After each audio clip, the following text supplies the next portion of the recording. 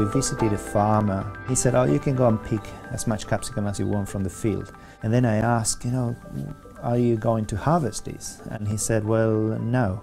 All this crop will be plowed tomorrow. The cost that I have in the pickers supersedes what I would get for the crop in the supermarket. This really motivated us to look at, well, if we can actually reduce some of these costs and prevent some of the food um, wastage and help the farmers to have a more profitable enterprise, uh, that would be a good motivation for our project. When we started working on this, we look at the progress that other groups have done globally and the progress they reported. And it was actually very modest. So what we did is we concentrated on what we thought they were the key bottlenecks. One of them was a perception, how the robot can see the fruit in the bush, and the other one is the actual uh, picking tool. We've been trying to get our team together to set up our, our vision system or our perception system.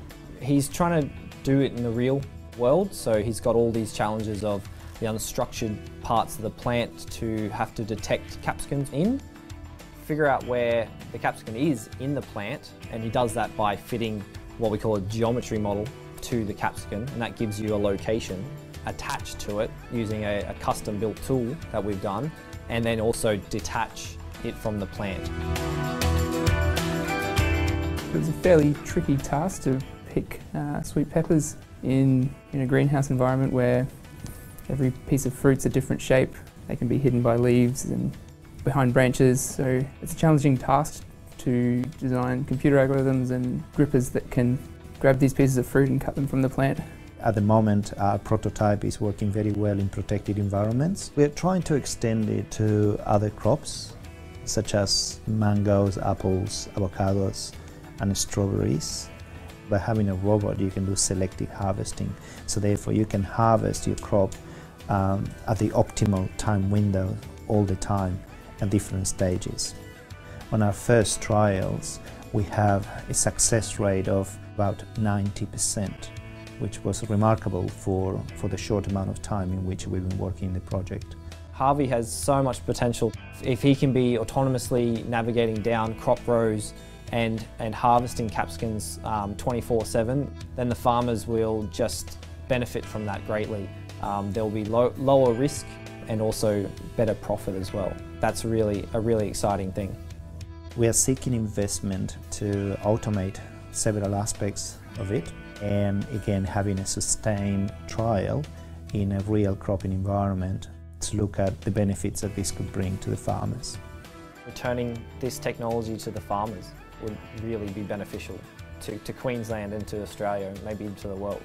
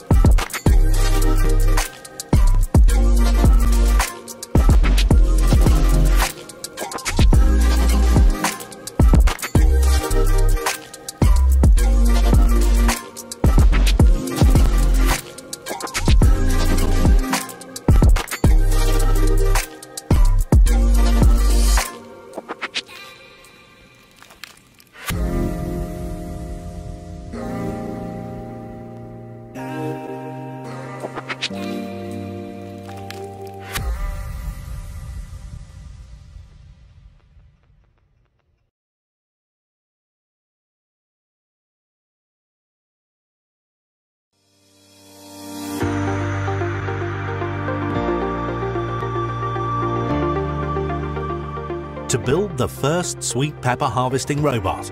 That was the goal of the Sweeper project. Increasing the efficiency and reducing labour dependence will ensure Europe's high-tech greenhouse food production yields and competitiveness. The robot is an assembly of an autonomous mobile platform with a robotic arm holding an end effector for fruit harvesting.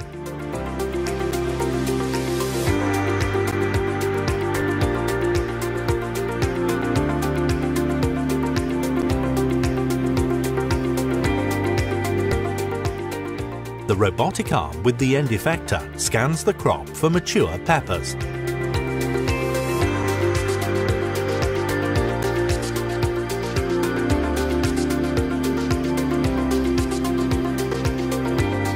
The camera operates completely independently from surrounding light conditions.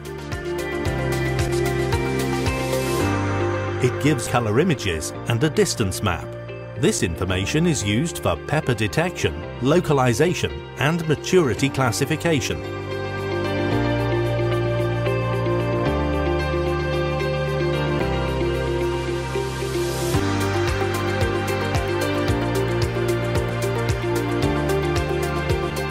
Peppers are scanned by looking slightly upwards.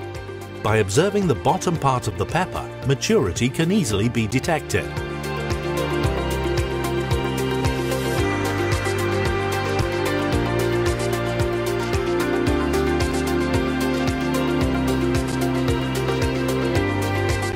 The robot was trained to find obstacles like leaves and stems in the images. To speed up the training work, a simulated artificial pepper crop model and a deep learning network was used. After detection, the pepper location is used to perform a path planning for the robotic arm. This can be a complex trajectory since the space in which the robot arm may move is very limited. The robotic arm employs visual servo control to reach the peduncle of the peppers on target for this, it takes images from several sides. The arm approaches the pepper in such a direction that the stem is always to the backside of the pepper.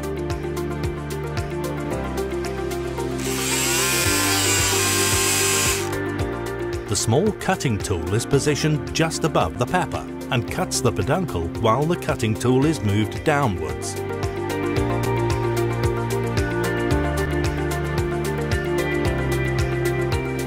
After cutting, the pepper falls downwards into the fingers of the pepper catching device and is moved towards the pepper bin by the robotic arm.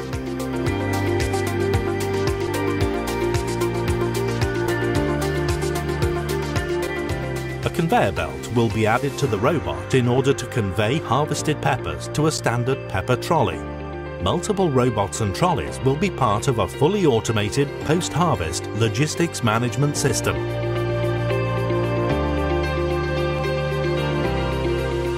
The robot will exploit its harvesting skills in full in a single stem row cropping system. The most suitable yellow existing pepper variety was used during the test. The Sweeper project results will serve as input for the development of a new, fully optimised and automated sweet pepper production system for the greenhouse horticultural sector the automatic harvester will contribute to solve some of today's major grower issues, such as labour costs, labour availability, food safety and quality.